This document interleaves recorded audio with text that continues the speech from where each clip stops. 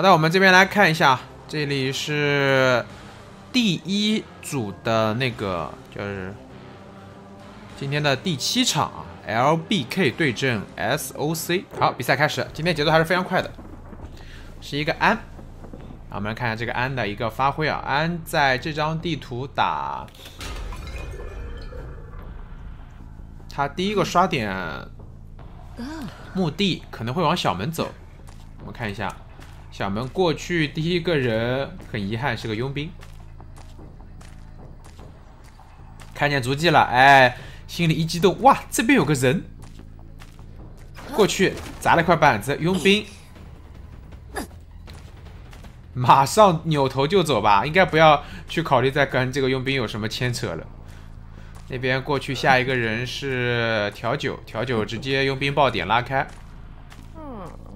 然后这个点位的话，其实放纵猫跳一下是有机会的。来放猫吗？放，对，用猫封住它的一个走位，然后不要能够很快的接入到这个点。哎，打一刀好，这边应该是喝瓶酒，然后翻个窗加个速。前锋这边预备了，可能甚至会干扰一手啊，但现在好像没这个动向，因为猫已经放掉了，然后 CD 还有八秒，那么这瓶酒应该是哎无悬念的可以喝上。前锋这边求稳再装一手。那你前锋啊，这么多事儿，那我来找你了。哎，放猫好，拉开跳住，这里看怎么说，骗过去一跳晕，一刀闪现，可能要把这前锋带走。调酒师重新调一瓶酒，前锋还有半颗球啊，感觉刚才前锋那下其实没有太大必要撞。呃，这样的话调酒师带到那个墓地还能多溜一会儿，这样。等于说前锋吸引了一波注意力，但是前锋自己的电机修不了。这边再放一只猫，如果猫没有剑术的话，其实调呃这个闪现也是可以打的。这边怎么说？怎么一个选择啊？看一下，应该找角度先跳一下。这边调酒师过来帮忙下块板子，但是看见人了。前锋这里的猫的一个印记已经消失，他可能还要拉球。再看啊，双方都在博弈，先知都甚至看要交鸟了。哎，这边前锋直接拉球走，就怕你闪现过来。好，这边再放一只猫，分开跳中前锋。哎，这个地方应该是有机会能晕住的。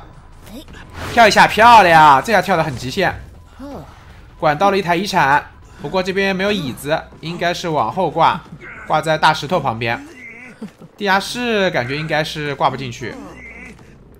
省下了一个闪现，佣兵这边来救人。先知这里刚才是看了，但是没给上鸟。这只鸟待会儿看一下是给佣兵还是给前锋了，就看这边佣兵的一个救人了。因为我们知道这边如果先放这个猫，然后出去，然后用它的一个印记拉回来。好，这里然后就过去打一刀，现在打一刀没打中，没打中的话，这边鸟给上晕住，把鸟打掉。呃，还算是。比较不错的这波救人，没有让佣兵受伤，那么佣兵还能再救一波。前锋这边拉拉到哪里去呢？他是，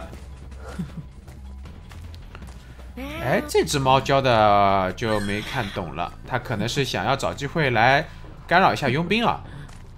前锋这边拉开电机，就看佣兵那台遗产机能不能有人来帮忙点掉了。佣兵的电机是要想要自己补。这里安的一个位置是选择在这里，这里能够可能可以稍微干扰一下佣兵的电机吧，但也干扰不了太多。他可能要放一只猫过去干扰一下。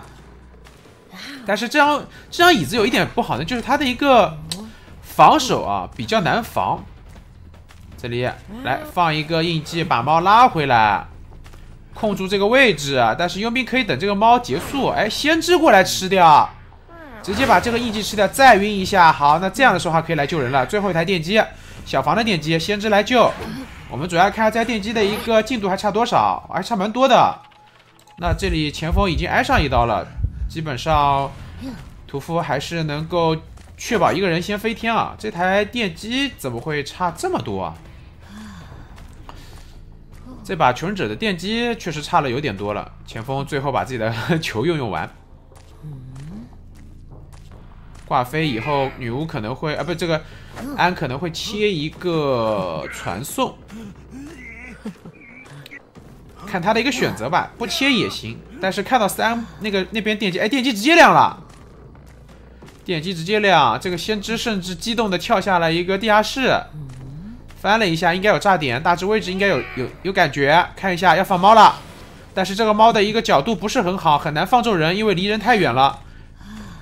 要看这个印记怎么拉，印记往回拉，好，拉回来，看一下有没有机会。好像跳中了，我们听到声音了，这边一波小跳，一波跳，拉近距离，有闪现，大概率还是一个平局。一刀没抽下来，那边没下板，一刀好击倒。由于佣兵的搏命也没有了，这调酒师也不存在能够有更多的一个帮忙，那么这一把应该是平局了啊。相对来说，这把其实求生者更加有优优优势一点啊，更加有机会一点，但是电机稍微慢了一点，拿了一个平局。前期前锋牵制，包括调酒师的牵制，已经拖了蛮久的一个时间了，主要呃倒地的一个位置也是稍微有点亏。好的，我们稍事休息，看下一场。